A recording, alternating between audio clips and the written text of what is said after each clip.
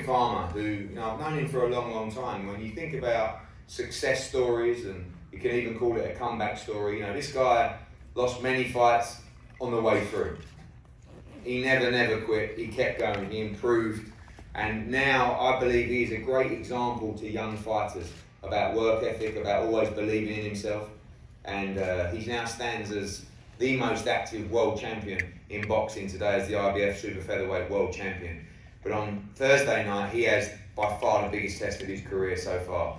One of the top amateurs of the code previously, now former world title challenger, and an excellent fighter who's had a great camp, ready to go. Ladies and gentlemen, the challenger for the IBF Super Featherweight World Championship, Jojo Diaz.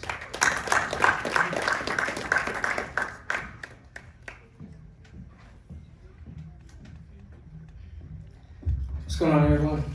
First off, I want to thank Eddie Hearn. I want to thank Joe DAZN, my manager, Ralph Heredia, Golden Boy Promotions, uh, my father, all my team, Joel, Daryl Hudson, for getting me ready for this fight. It's the toughest fight to date.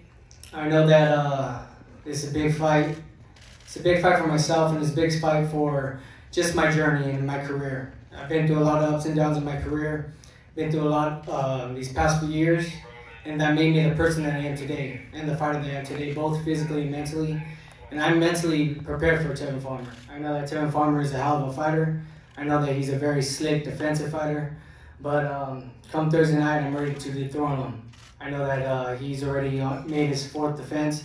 This is his fifth defense, and there's a lot to lose. There's a lot at stake for both of us. I mean, it's sink or swim for me and it's a lot to lose for him as well because he has a lot on the line. He's been talking a lot of shit. I've been talking a lot of shit. So we're both going to be backing it up. We're both going to be duking it out. So I'm really excited for this fight, man. I'm excited that we both finally agreed to all the terms and that this fight is actually being made on such a big weekend, Super Bowl weekend, fight week, on such a big card. It's just history in the making, and I'm just happy to be alive and to be a part of it.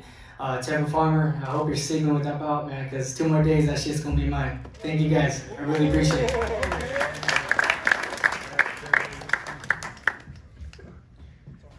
Thank you, Jojo.